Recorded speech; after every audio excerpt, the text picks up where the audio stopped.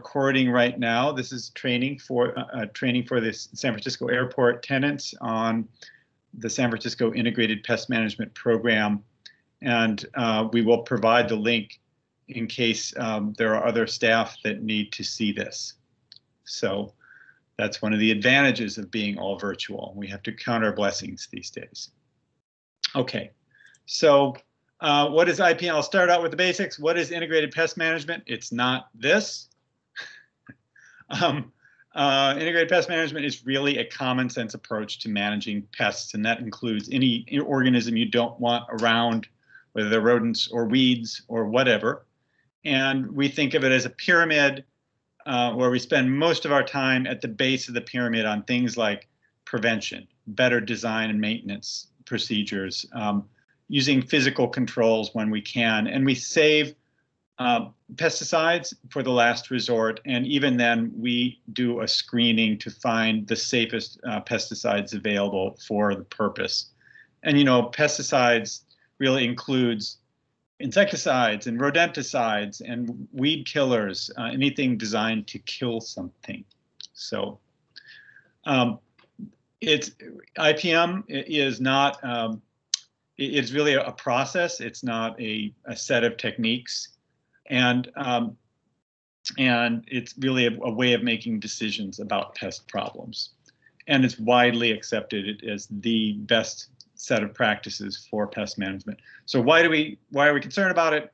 Um, as you probably are aware, uh, there are a lot of potential health effects from all, all sorts of pesticides, especially asthma in interior spaces, um, uh, and a lot of uh, environmental effects, especially for you know facilities located right on the bay next to the marshes. Um, uh, you know, it doesn't all get taken out by the wastewater treatment plant.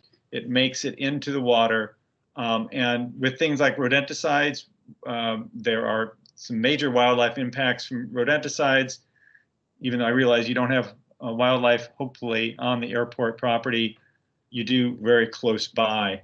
And um, so there, there are a lot of reasons why we latched early onto pesticides as an issue. And as a matter of fact, it was the founding program for our department way back in uh, something like 1996 is when the ordinance was passed. So that was the only program we had when we first started.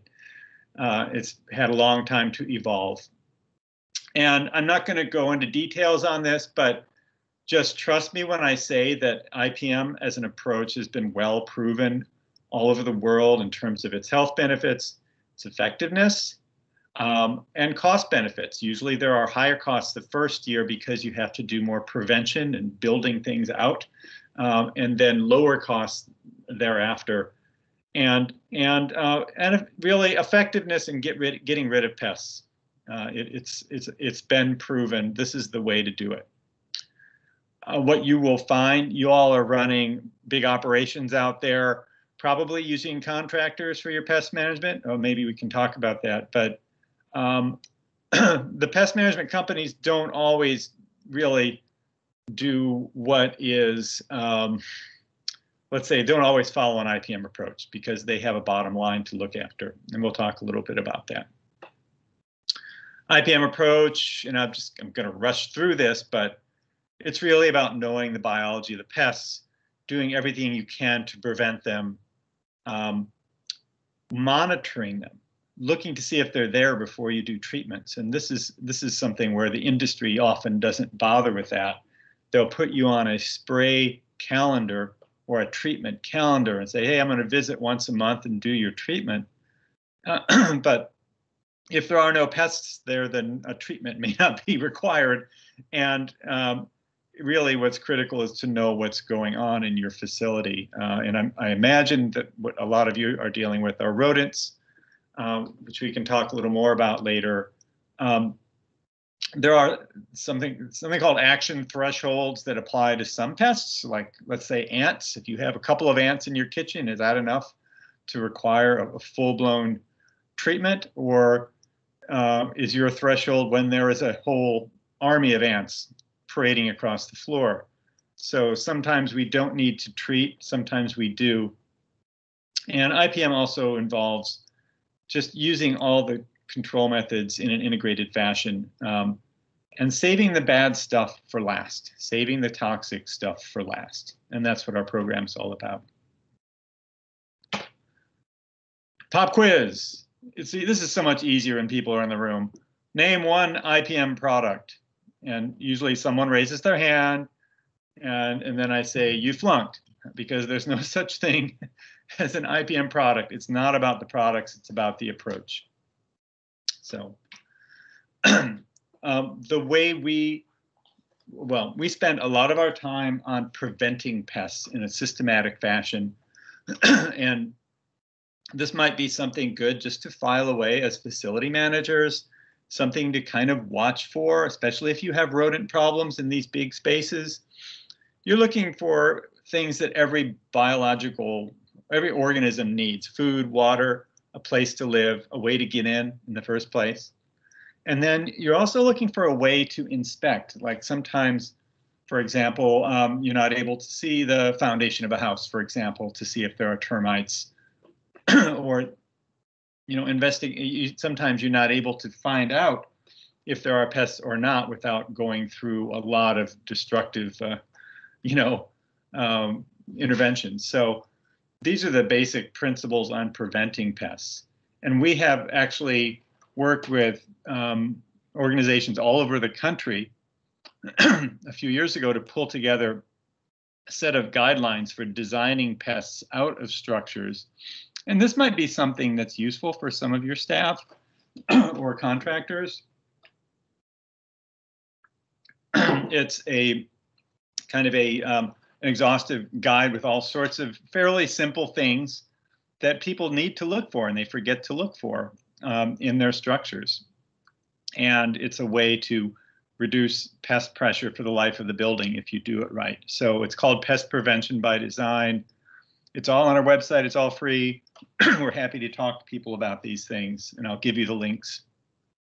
Uh, this is now referred, by the way, in, in the, the, the U.S. Green Building Council refers to these as part of its credit system. And, you know, as facility managers, you know, things you need to know only takes a half inch, the width of a dime, to let rats in. And it takes a quarter of an inch, the width of a pencil, to let mice in. And if you're going to do nothing else, if you have closed offices, I know a lot of your spaces are probably wide open, uh, but for the closed areas, looking for gaps and, and figuring out ways to close those gaps can solve a lot of problems. so that's kind of the extent that I'm going to go into pest management in this presentation. What I think you're probably most interested in, in knowing is what's required for this program and how to, how to comply with it. So there is an ordinance, the IPM ordinance passed in 1996 it applies to all city-owned properties, including the airport. Excuse me. and and here's what the ordinance requires. It, it, it, does apply to leases, by the way. It applies to um, any leases that are, are newer than 1996. It requires an IPM approach in all operations, which is a pretty big general thing. Um, there are restrictions on pesticides that are citywide, and this is the maybe the number one thing you need to keep in mind when you're working with your contractors. We have a list of approved products, and if you do have to go to the last resort of using pesticides, they have to be on that list. And there are specific limitations on the list, and I'll talk about it in a moment. there is an exemption system for very special cases Usually, if you need a special product that's not on the list, I mean, you have to apply for an exemption. Generally, it's the department that does that. I'll leave that. You can discuss that with Jen. Uh, if if the case comes up, it probably won't. but there is a, a means to have exemptions. There are posting requirements that may not apply to you so much. I'll talk about those in a second. There are record keeping requirements that definitely apply to you all. Um, that is, we have to keep records of all pesticides used on the city properties. Um, all exemption requests and all pesticide data is automatically public and it's actually posted on a public website. and there is an annual public hearing for anyone who's had exemptions, this is a sort of the accountability part of it to answer questions on why that was necessary. And this kind of keeps us all honest. It also keeps us in touch with what the community um, is asking for. So this is a pretty well established program. We think we've pretty much got it down. Um, um, and let's um, let me just talk about the restrictions on pesticides first. Excuse me. Before we add any product to our list, it's called the reduced risk pesticide list. We put it through a hazard screening. It's a hazard screening that's very simple. One, two, three system. One is bad, three is not bad. And that helps us flag the products that we are targeting for removal from this list. There are still, we call them tier one, tier two, tier three products. And if you look at the reduced risk pesticide list, you'll see the tier ranking for all of these. So there's a big process behind this list. It is revisited, readjusted each year by a stakeholder group of, of professional IPM people here in the city, including contractors and city IPM specialists. So it's really based on reality. It's not um, people at Department of Environment deciding you can't use this anymore. It's more about asking what's the safest way to do this. So the result is the reduced risk pesticide list, and I'll you know, give you the links and everything, um, updated each year, as I mentioned. And if you look at the list, and this is something you're going to have to follow, um, you'll see product names and EPA numbers, uh, ingredients if that's of interest. The hazard tier that I just mentioned, one is bad, three is good. Uh, there's something called a use limitation, which is really kind of an extension of the hazard tier, but it's these are the ones that we're most concerned about are the ones that say most limited. And then there are specific limitations, and this is the part you need to pay attention to, if nothing else, is whether the pesticide is on the list and what the limitations are, because we're kind of like an additional layer of regulating these things. We we may only allow this product in one place, you know, one site, uh, for very spe- specific reasons. So it's good to to be familiar with that for you and or your contractors. Excuse me. You can find this and pretty much everything else you need on our webpage at sfenvironment.org slash IPM. And you'll click on the city departments link and you'll see all these tools um, for compliance, including a compliance checklist. And there's the list right there. The compliance checklist is kind of everything I'm telling you today, but it's in words uh, with a lot of extra info, um, probably way more than you need as leasees. but it's something that you can share with your pest management contractors. Um, and so I would recommend um, accessing that and having a look and having it available. Um, there are posting requirements for pesticide use on city properties. and that means telling people, you know, in the interest of transparency, letting the public or workers know if there's a pesticide that is about to be used. it's required three days before a treatment and up to with it has to remain four days after. Now, this may not be very applicable to you, and part of this depends on your conversation with Jen and and the airport fo folks. Um, you know, this is really about parks. This is more oriented towards public spaces. However, um, uh, there are some built-in exceptions. So if you're talking about baits, which is I think probably what a lot of you are using for your rodent problems, um, you need a sign in the building where the pesticides are used. It can be at the main department office or somewhere just to let people who are using that building know that baits are in use.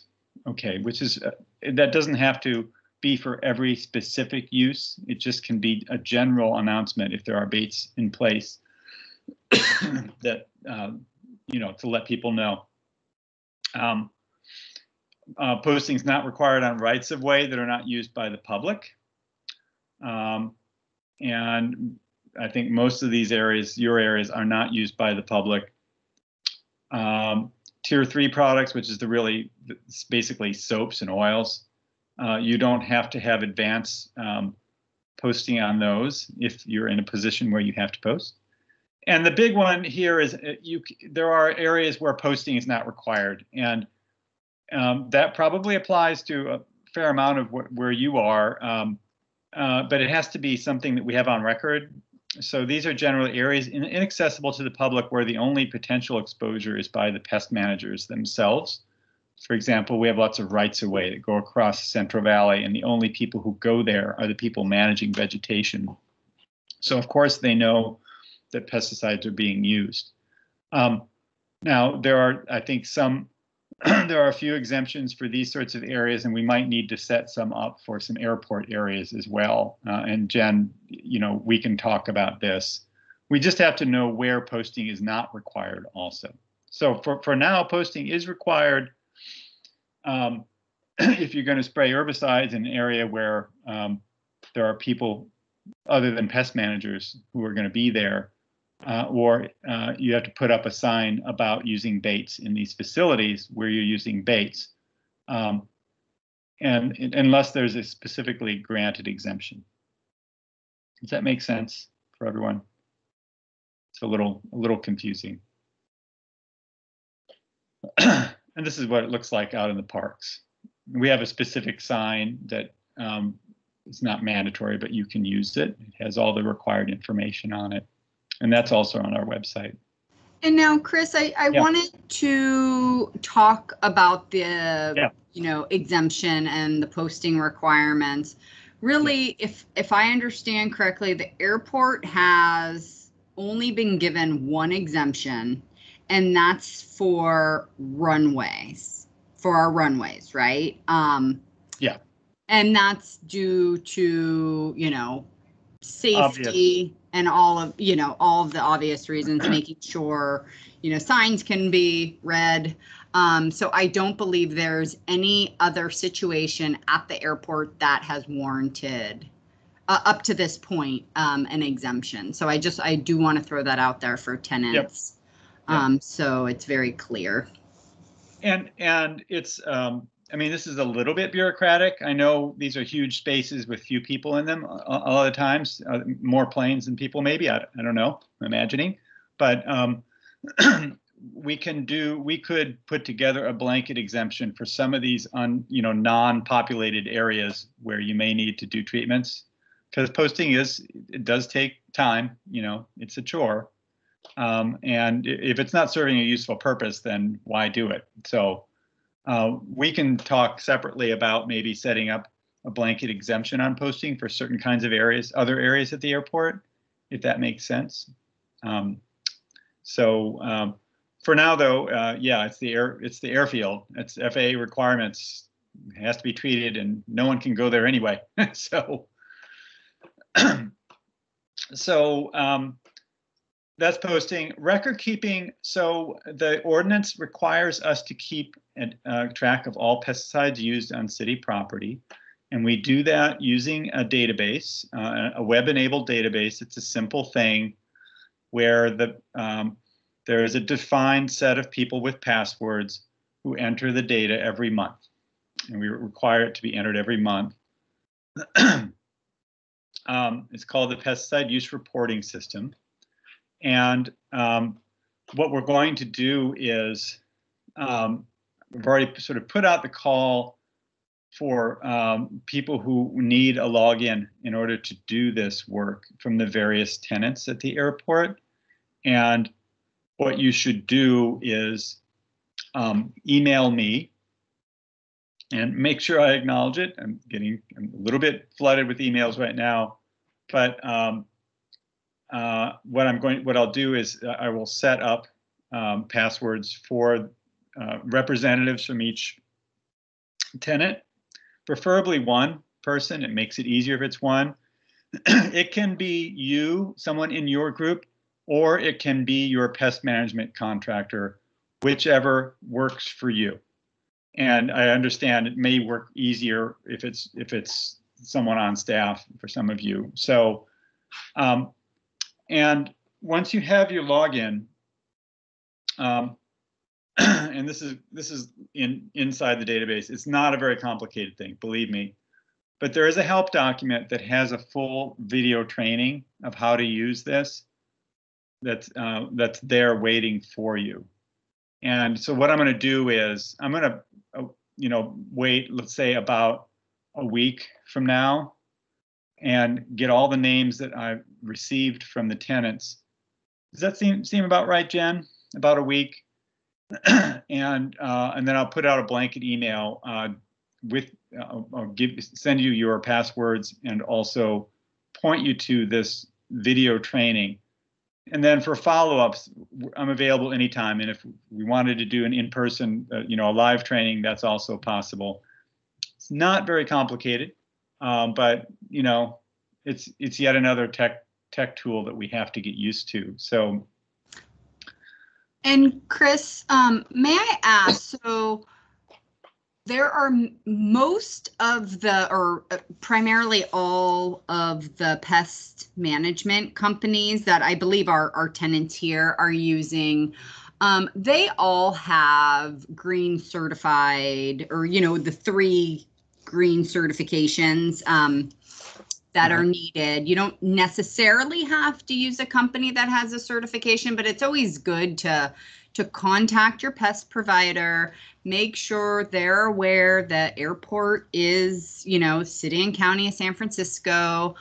Um, and perhaps even ask them if they can um, report, do the monthly reporting for your um, for your space.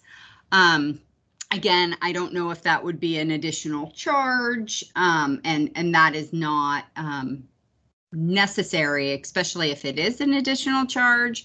But um, it might help you um, as a responsible leaseholder to ensure that they know what they're putting, you know, that they know the pesticides that they're um, listing down as um, for what they used in your space. Um, whereas I don't know if it is easy for you know you receiving the report and just looking at it. If if that is if, if those are good chemicals or bad chemicals, and we can if if you de- if you do decide you want to be the one um, entering in the monthly data, completely fine. Our pest group will um, review it afterwards, and, and we will work with you all for the first few months to ensure compliance.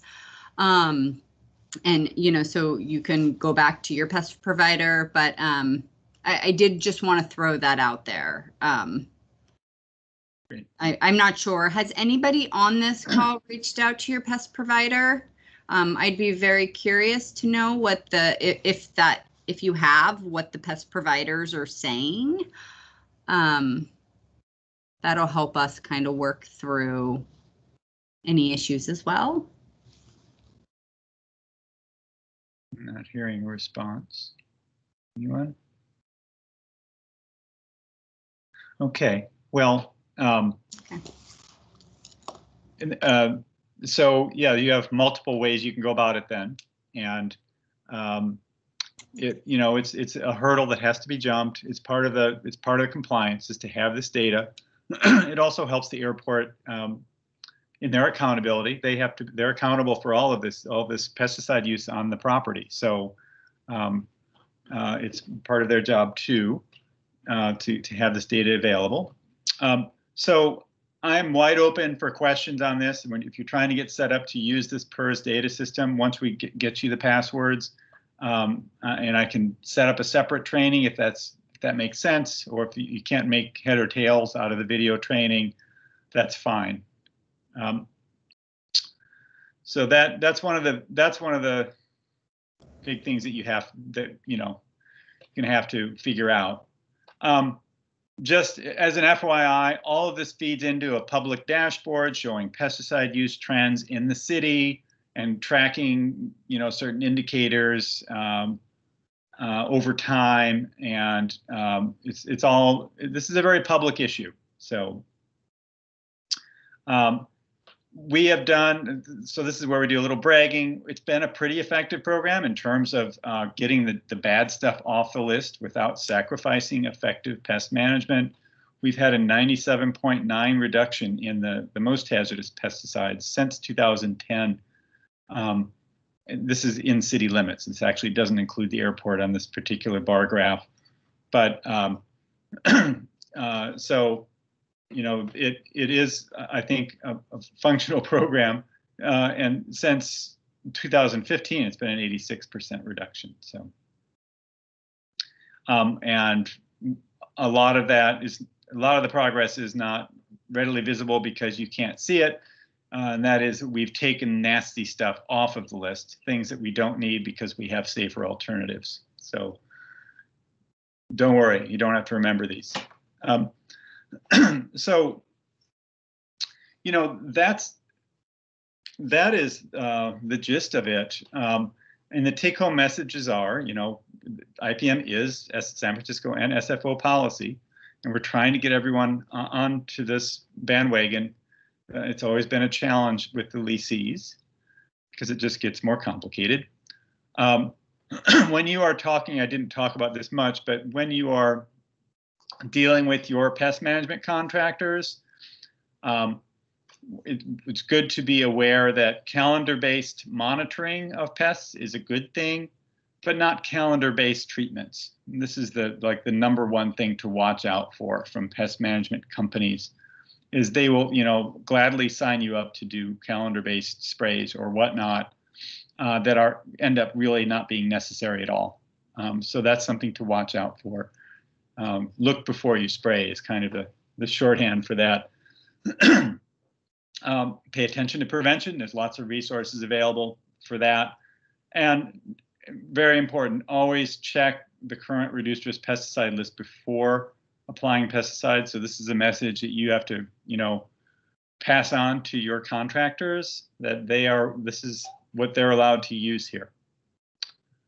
and then all that use has to be recorded and submitted via that database. I showed you the PERS database. So you'll need to delegate someone either with the company or or internally to enter the data. It doesn't take long. It's it's not a huge lift, but it's just one of those things we have to do. it's also good to keep in mind it's all public. Everything. Um, if you ever get an exemption or if you uh, all your pesticide usage is is in the public domain. Um, and then uh, finally, we have lots of resources on this available, and I put some of them into this into this PowerPoint, which I'm, I'm sharing with you all. Um, uh, they're all on this uh, sfenvironment.org page, the reduced risk pesticide list, the compliance checklist, also, the data entry link to get into PERS is located there. There's a link for filing exemptions, which hopefully you won't need. And then there's lots of the pest prevention by design guidelines as well. Um, so that is, that's, that's the, the training. And I'm going to turn off the recording now um, and ask if you have, if there are any questions. This is a, a